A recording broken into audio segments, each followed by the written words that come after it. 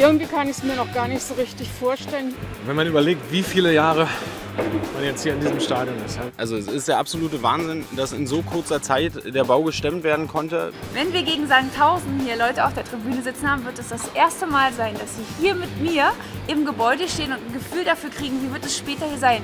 Die Leute, die sonst äh, mit traurigem Blick draußen stehen bleiben müssen, weil sie keine Karte mehr ergattert haben, das auch endlich äh, ins Stadion schaffen. Ja, ich denke, dass äh, ja, hoffentlich erstmal die Tribüne voll ist. Ich hoffe, dass viele Fans da sind in unserem Stadion. Seit wie vielen Jahren ich in die Richtung spreche, Richtung, Richtung Gegengrade, Richtung Waldseite. Und hinter mir war es immer ganz, ganz klein. 3000 Zuschauer da drauf, äh, wird eine sensationelle Stimmung geben und einfach nur fantastisch, dass das Ganze so schnell äh, vonstatten geht.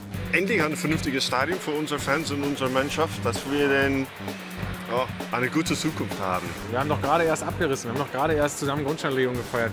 Sie sitzen das erste Mal draußen auf der neuen Tribüne und kriegen dieses neue Gefühl. Sie sitzen höher, sie sitzen breiter, sie sitzen bequemer. Das alles können sie das erste Mal live erleben. Das ist für mich ein total großer Moment.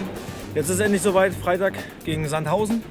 Ist die Hütte hoffentlich voll von euch mit der neuen geilen Tribüne und äh voll. Es wird ein voller Tag. Und ich freue mich drauf weil das erste Mal eine Vorstellung davon entsteht, was hier im letzten halben Jahr passiert ist und wie schnell es vorwärts gegangen ist.